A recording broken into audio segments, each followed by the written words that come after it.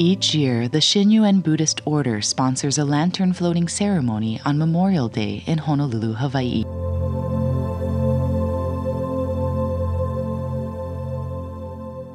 The act of floating lanterns is meant to console the spirits of the deceased and symbolize remembrance and love for those that have passed. Before the thousands of people who participate each year, it can also be an emotional experience as they reflect on the loss of those close to them.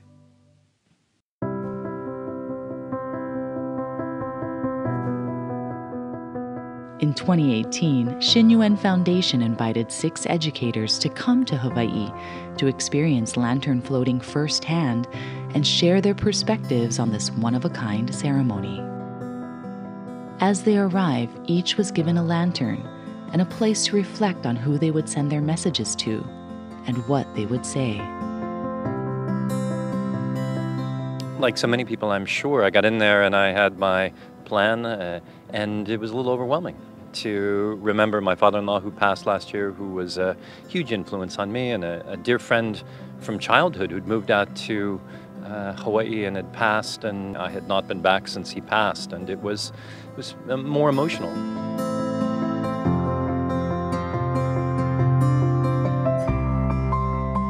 Never thought that I would have an opportunity to actually participate because I'm of a different faith.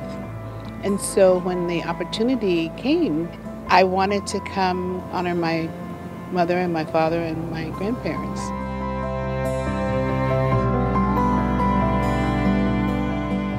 I know that this is to honor our ancestors and those who have gone before us. So I wrote messages to my mom and dad and my grandmother who are deceased and wrote a message to all the animals, deceased animals.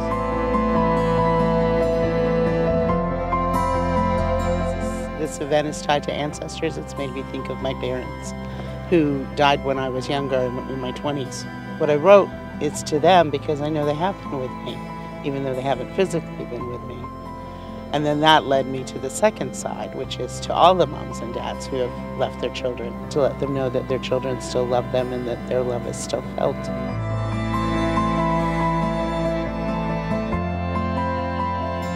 I thought of all the children of the world, and to be specific, the children of Yemen, Syria, Lib Libya, and Palestinians. Um, these are children who are going too fast and too early.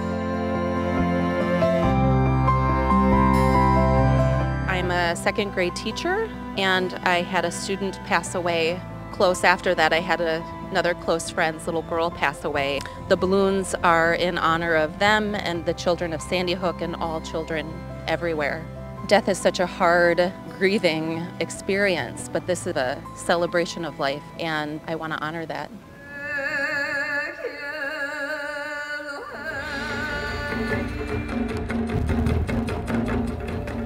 After completing their lanterns, guests were ushered to a seating area near the stage to watch the moving ceremony, colorful celebration, and inspiring words from Her Holiness.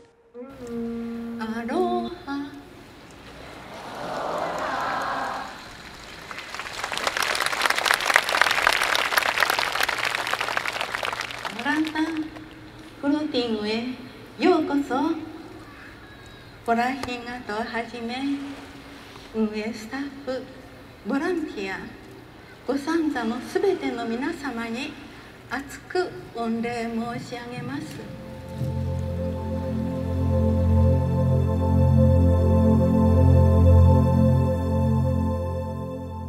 Following the ceremony, it's time for the guests to join thousands of other attendees to light and float their lanterns.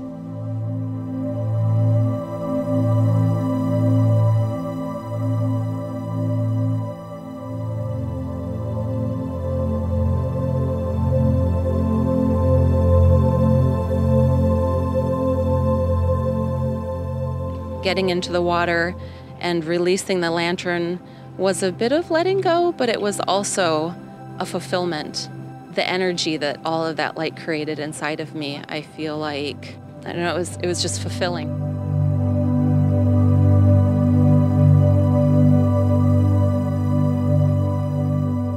I always thought of those who passed and especially close families and others. They live in my heart, and I always think of them. So that was very powerful to me.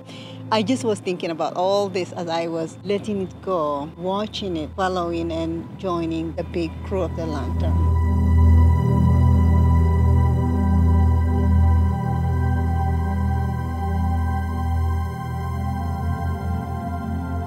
When I got up to walk over, I had been thinking about that moment. And I knew that I wasn't as comfortable walking into the water as I wanted to be. And then Scott was there. I've gotten to know him, and he's just a great person. And he was just so gracious immediately to do it. And it just added something really special it made it even more powerful to take my lantern, my memory, the people who who I wanted to to connect with and to remember, and, and hers as well. And I had heard her speak so lovingly about her parents and, and how much it meant to her to put them and their names on the lantern. So it was extraordinary to be part of that with her.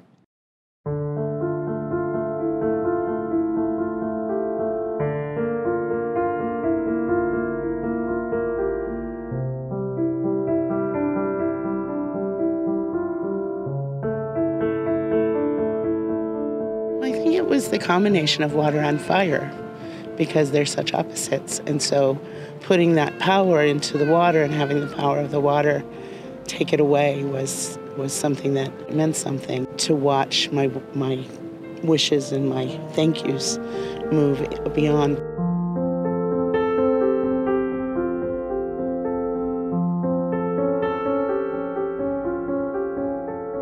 I sensed both being myself alone, but then as part of the larger connective group. So it made me feel one as a part of many, if that makes sense. And that brought like a, a great sense of peace to me.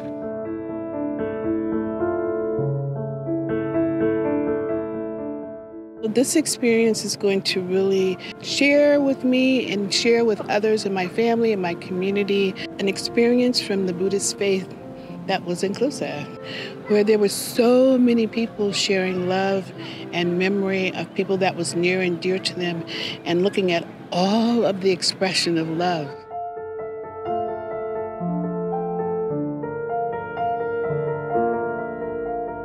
The theme of, of many rivers, one ocean, uh, really struck me as, as you know, and the lanterns were symbolic of all of those lights, all of those memories, all of those spirits coming together.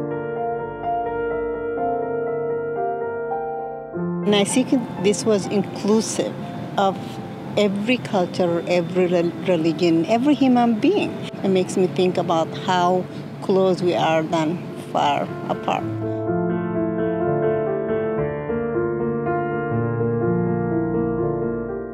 made me resolve to spend more time reflecting on the meaning of life and the meaning of, of the lives that have gone before mine.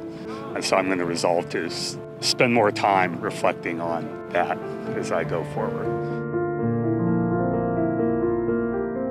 When I think about my path to peace and connecting that to all the lanterns that were floating, it's a beautiful visual because I can see all of those ripples moving outward and I can be that ripple too. All of the people who have come before me are that ripple. I am that ripple now, and hopefully, the people that I connect with can be that ripple in the future. It's amazing that we can have all of these lanterns together, and it's so tranquil and peaceful, which is what we want for the world. While the lantern floating ceremony is intended to give all of us a chance to connect to the people we've lost, for these six educators, it was also the chance to experience and learn about the remembrance and grieving process that we all share as part of the circle of life.